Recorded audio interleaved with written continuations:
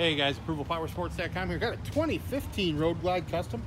Just got in. This high gloss, vivid black paint, super clean.